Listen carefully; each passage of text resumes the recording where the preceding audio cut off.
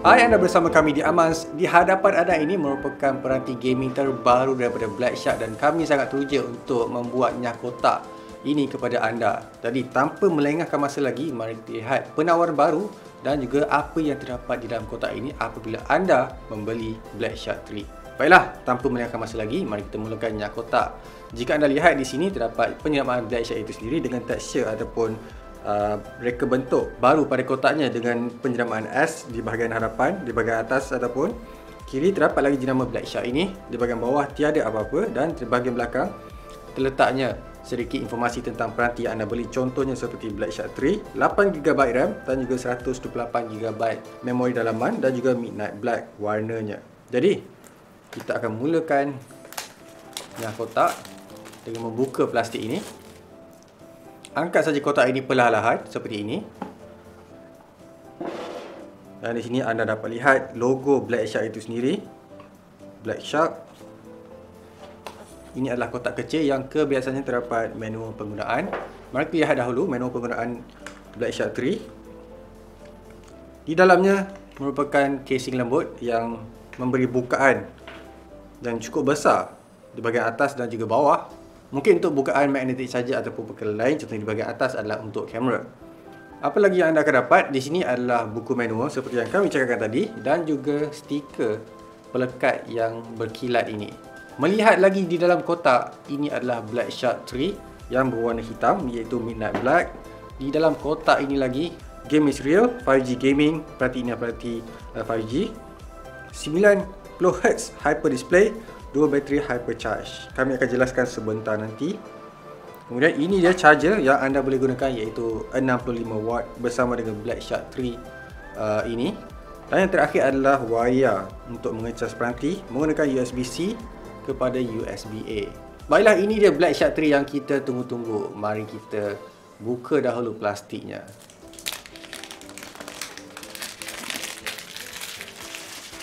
Kemudian anda dapat lihat warna hitamnya agak cukup kemas dan sangat berkilat dan juga terdapat kemasan matte di bahagian sisi.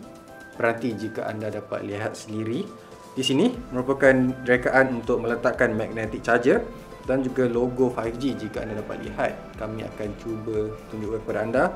Dengan penyeramaan Black Shark di bahagian belakang di bahagian bawah di tengah-tengah merupakan satu logo dan juga berfungsi dapat menyalakannya warna seperti biru ataupun RGB di bahagian atas ini dia triple camera yang diberikan oleh Black Shark kali ini yang mana tahun lepas meletakkan hanya dua sahaja.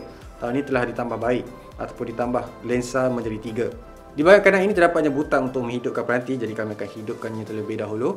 Sama-sama itu, kita di bahagian bawah ini terdapatnya butang ataupun switch untuk mengaktifkan Shark Space untuk masuk ke dalam uh, mode gaming. Di bahagian bawah meletakkan USB Type-C dan juga mikrofon.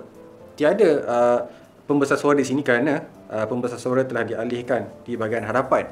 Jadi untuk anda memasukkan port 3.5mm bicu audio di bahagian atas kerana ini adalah peranti Black Shark 3 yang telah uh, dimasukkan kembali 3.5mm bicu audio pada peranti mereka dan ini adalah perkara baik untuk mereka yang penggemar bermain permua yang ingin menggunakan uh, port 3.5mm bicu audio itu. Jadi ini dia Black Shark 3 yang telah dihidupkan kami telah setkan peranti ini kepada akaun kami supaya dapat lihat apa yang terdapat di dalam Black Shark 3. Okey, ini menjalankan sistem operasi Joy UI 11 berasaskan Android 10. Untuk confirmkan kepada anda, anda harus pergi kepada apa?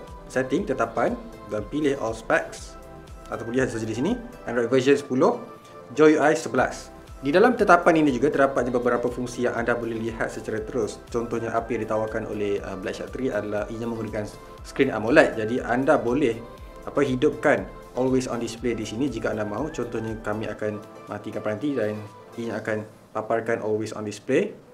Dan anda boleh matikan di dalam tetapan. Kemudian uh, refresh rate. Kita akan lihat tetapan pada display. Anda boleh lihat refresh rate yang ditawarkan di sini adalah 90Hz. Jadi kita akan pergi kepada 90Hz dan anda dapat bezakan apabila mengaktifkan mode ini apabila anda lihat peranti ini di depan mata. Apa lagi yang terbaru adalah uh, ini menggunakan uh, beberapa tetapan contohnya seperti performance master. Anda boleh lihat prestasi CPU anda ataupun Snapdragon 865 ini. Jadi anda dapat lihat CPU load sebanyak 14% ataupun 13. Kemudian penggunaan Wi-Fi apa milisekund yang anda dapat apabila menggunakan Wi-Fi dan pelbagai lagi. Dan juga RAM yang telah digunakan apabila anda menggunakan peranti ini dalam jangka masa beberapa lama ataupun beberapa hari.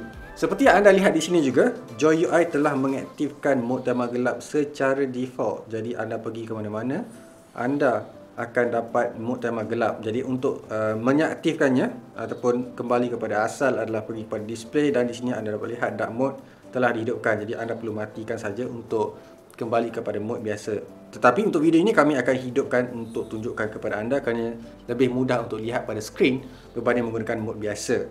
Kami lebih sukakan haptic feedback daripada Black Shark kerana lebih smooth dan juga lagi lembut berbanding peranti Samsung yang kami telah uji sebelum ini. Jadi ianya agak menyenangkan apabila anda bermain permua dan merasa feedback itu. Kami telah pun memuat turun permua untuk menguji peranti ini sekejap. Jadi sebelum itu kita akan jelaskan kepada anda beberapa fungsi peranti Black Shark 3 ini. Okey, ia menggunakan skrin 90Hz sejenis AMOLED sebesar 6.67 inci seperti yang anda dapat lihat di sini. Ia bukanlah boleh dikatakan kecil tetapi cukup besar untuk peranti untuk bermain permua. Kemudian, pemproses yang digunakan di sini adalah Snapdragon 865 uh, menggunakan RAM sebesar 8GB dan juga storan dalaman 128GB. Malangnya untuk peranti Black Shark, mereka tidak menyertakan slot microSD untuk anda kembangkan memori anda. Agak sedikit pelik kerana untuk uh, apa peranti yang fokuskan gaming tidak menyertakan slot microSD untuk mengembangkan storan. Kemudian di bahagian bawah, ianya menggunakan port USB Type-C untuk masukkan kuasa 65 watt charger itu ke dalam ini yang boleh mengecas separuh bateri sebesar 4720 mAh itu dalam masa 30 minit sahaja. Agak impresif bagi kami. Kemudian stereo speaker di bahagian depan seperti yang kami cakapkan sejenis stereo supaya anda dapat bermain permua dengan lebih puas apabila uh, menggunakan peranti ini apabila bermain. Namun tidak terdapat apa dikatakan butang untuk menekan menembak dan sebagainya apabila anda bermain permua itu hanya terdapat pada versi Black Shark 3 Pro sahaja. Untuk peranti ini, ianya tiada. Kemudian anda dapat lihat juga di bahagian belakang, ianya menggunakan kamera sejenis 64MP, 8MP dan juga 5MP adalah untuk tujuan kedalaman gambar. 8MP ah, itu adalah untuk mengambil gambar wide. Seperti anda dapat lihat, ini adalah fungsi ataupun butang untuk menekan mode ultra lebar tersebut.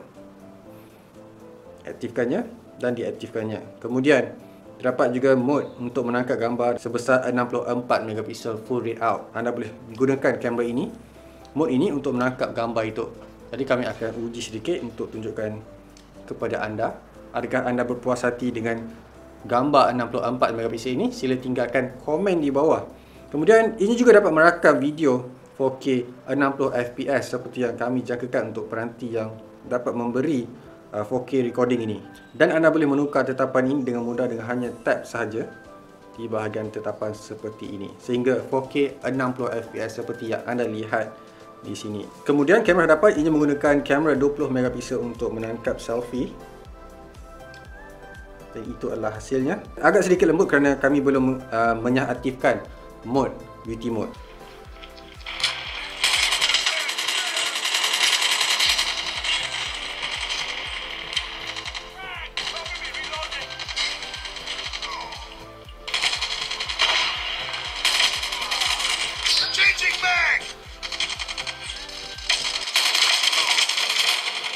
Reloading! Cover me!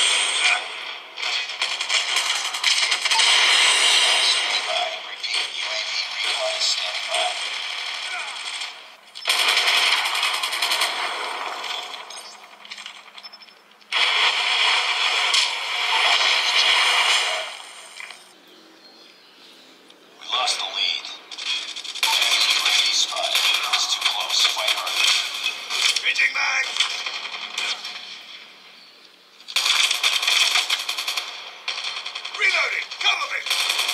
Taking the lead. Reloading!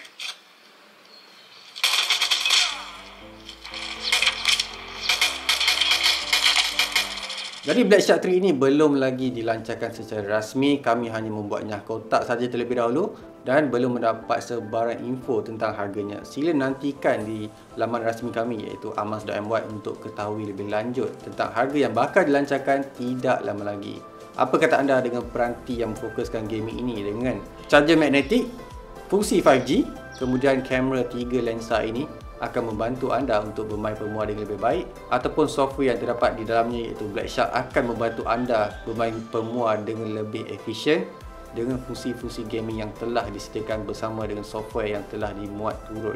Jadi, itu sahaja daripada kami di Amans sesi Nyakotak kali ini. Seperti biasa, like, share dan subscribe. Kita berjumpa lagi di video seterusnya.